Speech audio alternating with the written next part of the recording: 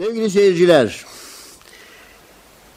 cemiyetin temelini aile teşkil eder. Aile hayatı fevkalade önemlidir. Bu bakımdan karı koca hayatının arada meydana gelen ufak tefek tatsızlıklarla, basit sebeplerle birdenbire sona erdirilmemesi icap eder. Nikah kutsi bir bağdır ve insanların meşru olarak yuva kurmalarının esasını ve vazgeçilmez şartını teşkil eder nikah. Nikah icap ve kabul ile meydana gelir. Bir akittir nikah, bir sözleşmedir. Yani erkek teklif eder kadına evlenmeyi, o da kabul ederse icap tekliftir işte. Kabul ile şahitlerin huzurunda yapılmasının hikmeti de nikahın yapılan evliliğin gayri meşru bir evlilik olmadığını, yapılan evliliğin tamamen meşru ve tamamen e, kanunlara, yasalara uygun, usullere tamamen mutabık bir evlilik olduğunu ilan etmek manasınadır. Herkes bilir ki bir kadın ile bir erkek hayatlarını birleştirdikleri zaman bunların kurdukları yuva meşru aile yuvasıdır. Bunların aralarındaki muamele affedersiniz zina ve fuhuş değildir. Bu bir zevciyet, karı koca münasebetidir. Dolayısıyla onlardan meydana gelecek çocuklar da nesebi sahih çocuklar olur. Nesebi gayri sahih dediğimiz soyu sopu bilinmeyen, babası belli olmayan çocuklardan değildir. Nesebin muhafazası bakımından da bu fevkalade önemlidir. Çünkü bir takım hukuki problemler nesebin belli olmaması durumunda son derece insanları ve toplumları büyük sıkıntılara düşürmektedir. Aile hayatını bozacak ve ailenin parçalanmasına yol açacak çocukların önemli problemlerle yüz yüze gelmelerine sebep olacak bir takım basit münakaşa ve tartışmaların öyle aile hayatını sona erdirmeye yönelik bazı neticelere müncer olmaması için her iki tarafında fevkalade olumlu ve ılımlı davranmaları icap eder. Anadolu'da genellikle basit aileyle ilgili olmayan konularda insanların hanımlarının nikahlarını ortaya koyduklarını görüyoruz. Efendim şart olsun tabirini kullanıyorlar. Ha, Araplarda zihar var ya işte kalkıyor annemin senin sen bana annemin sırtı gibisin diyor. Yani burada bir nevi zımnen kendisinden ayrılacağını ifade etmek istiyor. Bunun gibi hiç lüzumsuz. Mesela bir maç münakaşası yapıyorlar. Evle, hanımla, aile hayatıyla uzaktan yakından ilgisi olmayan bir konuya getiriyor, kendi hanımının nikahını koyuyor. Son derece çirkin bir şey. Tabiatıyla kanuni bakımdan demiyorum ama insanların vicdani bakımdan bir takım sıkıntılara düşmelerine yol açıyor bu gibi, gibi şeyler. Bundan dolayı vicdanen muazzeb oluyor birçok kimseler. Hocalara soruyorlar. Efendim ne olacak şimdi ben böyle böyle yaptım çıkış yolu aramaya kalkıyorlar. Her ne kadar kanuni bakımdan ortada bir sıkıntı olmasa da bundan dolayı insanlar kendi cehaletlerinin, kendi düşüncesizliklerinin manevi sıkıntı ve ıstırabı içinde kıvranıyorlar bu defa. İşte İslamiyet bakın bütün bunları kaldırıyor. Aile müessesesinin nikahın kutsiyetini ortaya koyuyor İslamiyet. Nikahın son derece önemli olduğunu belirtiyor. Ondan dolayı cahiliye döneminde İslamiyet'ten önce müşrik Arapların yaptıkları bir takım düşüncesiz işlerin ne kadar çirkin olduğunu gayet net bir ifadeyle Cenab-ı Hak bildiriyor. Ve innehum ve yekulune munkeran minel kavli ve zura. Onlar son derece çirkin bir söz söylüyorlar ve yalan söylüyorlar buyuruyor Cenab-ı Hak. Olmayan bir şeyi varmış gibi gösteriyorlar. Arkasından da Cenab-ı Hak yine zıharla ilgili bu kabil düşüncesiz hareketlere tevessül edip de sonradan bundan pişman olup rücu eden kimselerin cezalarının olacağını onlara hatırlatıyor allah Teala bakın. İnsanlar nikahı muhafaza etmek durumundadırlar. Biliyorsunuz e, üç şeyde yalan, e, şaka caiz değildir. Yani Selasun cidduhunne ciddun ve hezluhunne ciddun buyurulmuş. Yani üç şey vardır ki bunun ciddisi de ciddi, şakası da ciddidir. Ya onun için talak nikah ve yeminler böyledir. Ondan dolayı buna dikkat etmek icap eder, hassas olmak gerekir.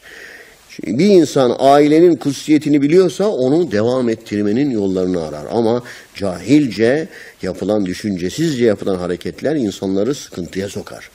وَالَّذ۪ينَ يُظَاهِرُونَ اَعُوذُ بِاللّٰهِ مِنَ الشَّيْطَانِ الرَّجِيمِ بِسْمِ اللّٰهِ الرَّحْمَنِ الرَّحِيمِ وَالَّذ۪ينَ يُظَاهِرُونَ مِنْ نِسَائِهِمْ ثُمَّ يَعُودُونَ لِمَا قَالُوا فَتَحْرِيرُ رَقَبَةٍ مِنْ قَبْلِ أَنْ يَتَمَاسَّا ذَٰلِكُمْ تُوعَظُونَ بِهِ Vallahu bima ta'melun habir. Sadakallahul azim. Bakın hanımlarına zihar yapanlar, hanımlarını haram olan, kendileriyle evlenmeleri mümkün olmayan, ebediyen mahrem olan annelerine benzetenler, haram olan bir şeye teşbih edenler ve böylelikle onlarla aralarındaki karı koca bağlarını koparmaya niyetlenen kimseler var ya, Sonradan bu yaptıklarından pişman olurlarsa sümme yaudune sonra dönerlerse bunlar. Lima kalu burada amma kalu demek. Sözlerinden dönerlerse.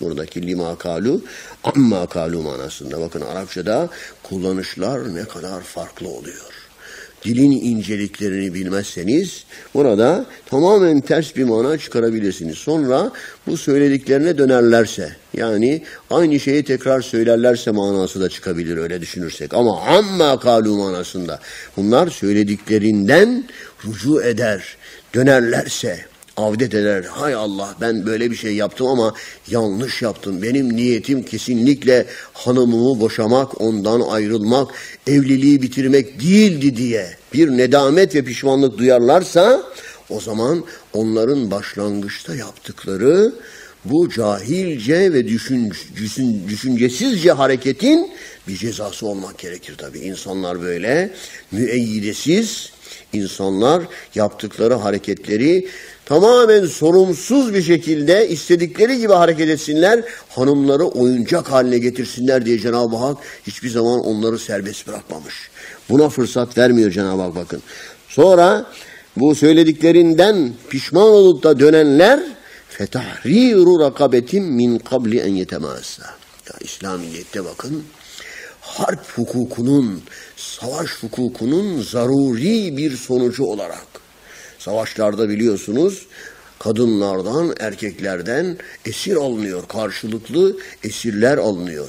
Bu esirler hürriyetlerini kaybetmiş insanlar, tutsak olmuş kimseler.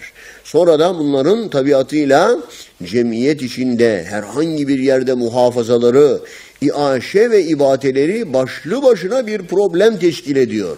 Bundan dolayı işte bir kölelik müessesesi tamamen savaş hukukunun zaruri sonucu olarak mecburen ortaya çıkmış bir kurum. Ama İslamiyet her fırsatta insanları insanlık haysiyetine en uygun hayatı yaşasınlar, hür olarak hayatlarını sürdürebilsinler diye böyle vaktiyle maziden eskiden intikal etmiş köleleri tamamen hürriyetlerine kavuşturmak için her fırsatı değerlendiriyor İslamiyet. Her fırsatta köle azat etmeyi müminlere emrediyor. Bakın böyle bir yanlışlık yapan kimse bir kölesini hürriyetine kavuşturacaktır. Tahrir demek hürriyete kavuşturmak demek. Hürri, hür kelimesinden geliyor. Harrara yuharriru tahriren tahrir özgürleştirmek, hürriyetine kavuşturmak demek. Rakabe kelimesi de işte köle manasında. Erkek veya kadın köle. Ya işte bunlara e, bunların hemen bir köle azat etmesi kendi hizmetlerinde olan bir köleyi hemen serbest bırakmaları, o köleyi hürriyetine kavuşturmalarını Cenab-ı Hak emrediyor. Ne zaman hem de min kabli en yetemasa karı koca olarak bir araya gelmeden aralarında karı koca ilişkisi başlamadan önce bunların köle azat etmeleri icap ediyor. Ancak ondan sonra evlilik münasebetleri, zevciyet ilişkileri ondan sonra başlayabilir diyor Cenab-ı Hak. Ya zalikum zalikum tu'azune bih. İşte siz bu emir, bu nasihatlarla öğütlendiriliyorsunuz. Cenab-ı Hak size öğüt veriyor. Sizin bundan istifade etmeniz lazım, ittiaz etmeniz lazım. Yapılan ve nasihat ve öğütlerden kendinize pay çıkarmanız, ibret almanız lazım. Fevkalade bakın önemli bir nokta. Demek ki bir kimse herhangi bir düşüncesizce hareketten dolayı evlilik bağını ve kurumunu, evlilik müessesesini çıkmaza sürükleyecek sorumsuz bir hareket yaparsa, düşüncesizce davranırsa, sonradan bundan rucu etmek istediği zaman bile bunun bir cezası var. Ya bunun bir cezası var. Kendisine verilmesi icap eden bir ceza var. O cezanın birinci mertebesi evvela köle azat etme, tahrir rakabe. Ondan sonra eğer bunu bulamazsa köle, kölesi yoksa adamın tabi zamanımızda kölelik e, birçok e, cemiyetlerde yok. Bugün medeni insanlar arasında artık e, bu kölelik meselesi bugün bizim ülkemizde mesela kesinlikle böyle bir şey söz konusu değil. O zaman adam ne yapması lazım? Femen lem yecid fesiyamu şehrayni mütetabi'ayni min kabli en yetemassa. Ceza olarak işte buna zihar kefareti deniliyor. Kim bulamazsa yani böyle bir imkanı yoksa, kölesi yoksa mesela ne yapacak? Evlilik müessesesini evliliği devam ettirebilmek için bunu buna bir ceza verilmesi, bir kefaret verilmesi icap ediyor. Bu da e, ceza olarak iki ay birbiri ardına mütetabiayni ard ardına demek. Yani hiç fasıla vermeden, hiç inkıta uğramadan, kesintiye uğramadan ard ardına iki ay oruç tutması lazım. Femen lem yecid kim bulamazsa yani kölesi yoksa bir kimsenin azat etmek için bir köleye sahip değilse o zaman fesiyamu şehrayni mütetabi'ayni. Mütetabi'ayn peş peşe demek. Ard ardına birbirini takip eden günlerle günlerden müteşekkil iki ay. İki ay şehrayni iki ay oruç tutacak. Sıyam biliyorsunuz oruç demek. Fesiyamu şehrayni mütetabi'ayni. iki ay ard ardına yani birbirini takip eden 60 günlük bir orucu tutması lazım. Min kabli en yetemassa. Tekrar aile ilişkilerine, karı koca münasebetlerine, e, affedersiniz cinsel ilişkiye girmeden önce bu kimselerin yani bunu yapan erkeğin iki ay oruç tutması lazım. Ne kadar ağır bir müeyyide değil mi? İki ay hiç yani bu iki aylık oruca niyet etmiş mesela tutuyor. Diyelim ki 35. günde bir gün ara verdi. Yeni baştan iki aya başlaması icap ediyor. Mütetabi aynı o anlamda. Yani fevkalade ciddi, disiplinli ve ağır bir ceza bu. Yani orucu kasten bozanlar içinde var ya, oruç kefareti işte burada e, hanımını annesine benzetmek suretiyle talak ve boşamaya yönelik yanlış bir davranışta bulunan ve zihar yapan kimselerin demek ki cezası eğer köle yoksa iki ay oruç tutacak. Min kabli en yetemassa. Temas kökünden geliyor. Messe, yemessu, dokunmak demek. Temas da burada yine aynı şekilde cinsel ilişki anlamına geliyor. Femen lem yestati' Kimin buna da gücü yetmezse adamın sağlığı yerinde olmayabilir. iki ay oruç tutamayacak durumda olabilir. Veyahut da zayıftır, tahammül edemeyecektir, dayanamayacaktır. Fe it'amu sittine miskina. O zaman da bakın yine sosyal dayanışma ve insanların ekonomik bakımdan, sosyoekonomik yönden birbirini desteklemesine yönelik fevkalade sosyal dayanışmayı teşvik eden bir emir. 60 fakiri doyuracak. Ya 60 fakiri doyuracak o zaman da. Oruç da tutamıyorsa ikinci mertebesi oruç tutmak. Oruç tutmaya da gücü yetmiyorsa bu defa 60 fakiri doyurması lazım. Ya ne kadar güzel İslamiyet. Fakir, yiyeceği içeceği olmayan, miskin, bir günlük dahi yiyeceği olmayan kimsenin e, karnı doyuracak. Ya işte bunun ölçüsü de yine aynı şekilde daha önce geçmişti. Maide suresinde allah Teala bu hususu kullarına bildirirken bunun ölçülerini de kullarına Cenab-ı Hak öğretmiştir. 2 e, 60 fakiri doyurması lazım. Zalike li tu'minu billahi ve rasuli. Bu işte sizin tam manasıyla Allah'a inanmanız, Allah ve Resulüne tam bir sadakat ve samimiyetle inanmanız, onun emirlerine sımsıkı itaat etmeniz, bağlanmanız içindir. Ve tilke hududullah. allah Teala'nın çizdiği had ve hudut budur. Sınır budur, çizgi budur. Yani bunu aşmayın buyuruyor Cenab-ı Hak. Ve tilke hududullah. Allah'ın hududu yani Cenab-ı Hakk'ın çizdiği çizgi budur. Bunun ötesine geçmeye kalkmayın. İşte bazı ayet-i kerimede فَلَا تَعْتَدُوهَا Onu tecavüz etmeyin. O hududun ötesine geçmeyin buyuruyor. İnsanlar Allah'a ve peygamberine inanıyorlarsa Allah'ın emirlerine saygılı olmak durumundadır. Çünkü iman itaatı gerektirir. Velil kafirine azabun elim. Kafirler Allah emrini tanımayan, peygamberin nasihatlarına kulak vermeyenler için çok elemli ve acılı bir azap vardır. Allah korusun.